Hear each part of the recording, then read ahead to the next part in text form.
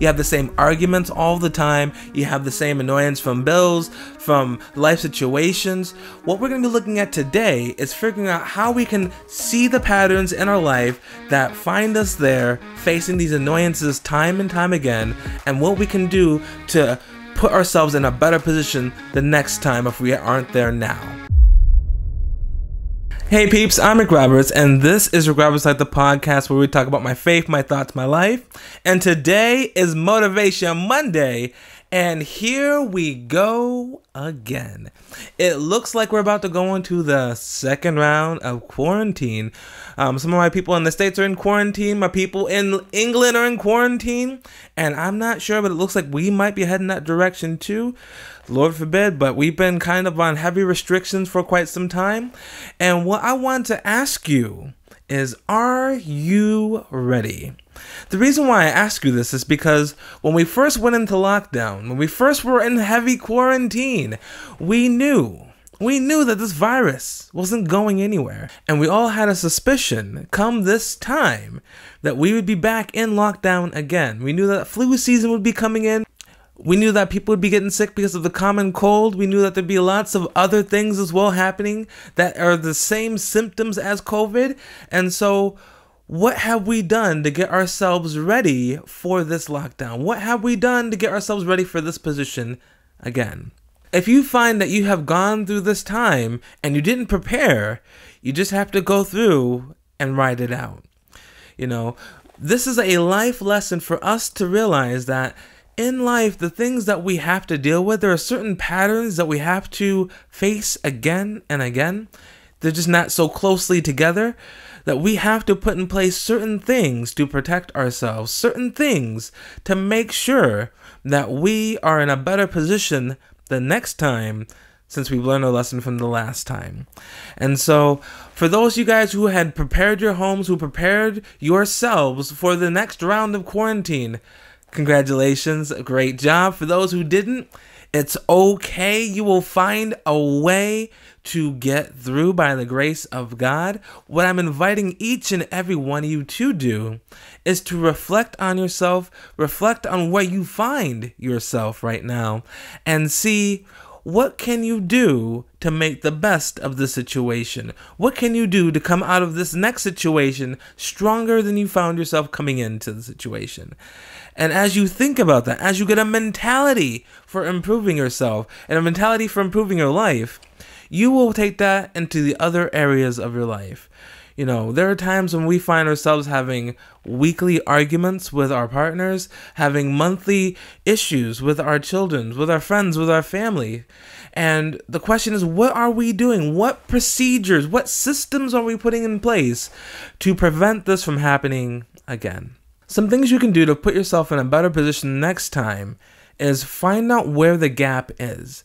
You see where you are and you see where you want to be, and you look in between and you see what that gap is. What is missing from you actually reaching here? And as you make a list of what's missing, you'll be able to take the steps to help secure those things for the next time. And you'll get into a mindset of putting in place certain protective measures to make sure that you do not return to difficult times in the different areas of your life.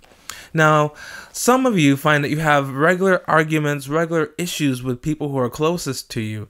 I want you to look at the patterns that happen. What is the buildup? What are the different flags that are letting you know you're getting closer and closer to the tipping point of this conversation.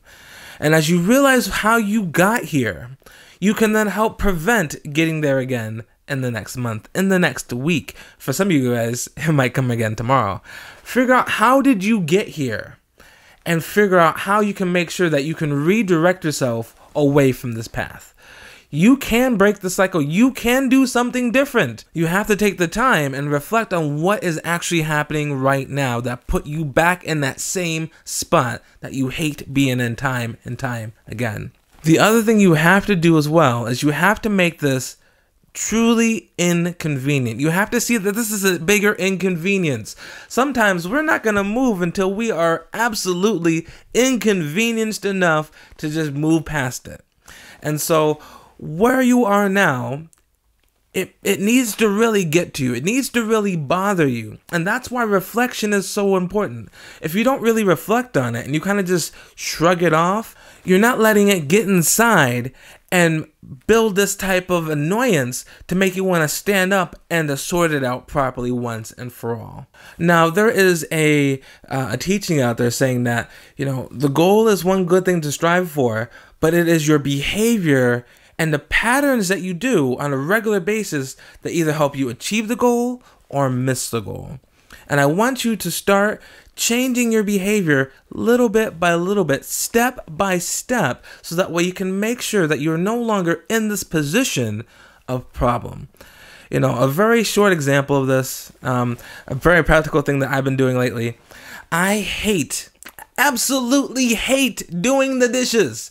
You know, I, I'm, can I get an amen? I hate doing the dishes. Uh, I'm so uh, sick of doing dishes. And so, what I was so tempted to do is I was tempted to go and buy a dishwasher so I would never have to just sit there, with my hands in the sink, cleaning them doggone dishes again. But what I've come to realize is that if I just simply wash my dish after I use it right away, the food's not so bad on it. I can get it clean quickly and I can go about my day.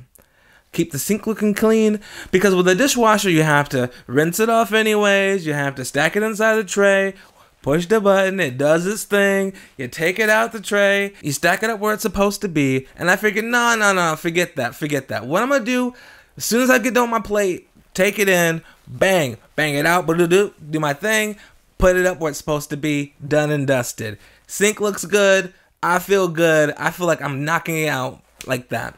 And it's the same thing, you know, when you first get up, you make your bed, you make it look nice and smooth and flat, you make it look sharp. You know, just do these little habits when you when you focus on being great at the little things, all these things add up into something bigger. And it's the same thing when you try to make all your moves the best move when you find that something keeps getting in your way, you're going to have a mentality to want to fix it. You're going to put inside the little steps to fix it. But if it doesn't bother you that much, if you don't let it hit you, then it's not going to make you want to do anything about it.